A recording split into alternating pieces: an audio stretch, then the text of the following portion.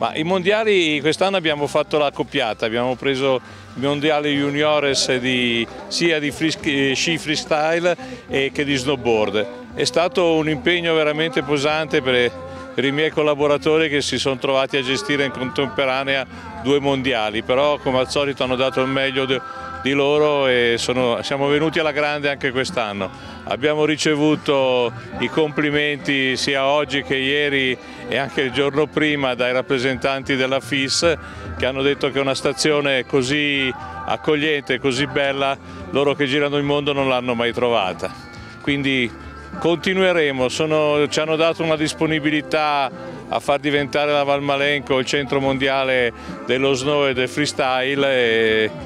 ci proveremo, quindi ci sarà da impegnarsi, spero che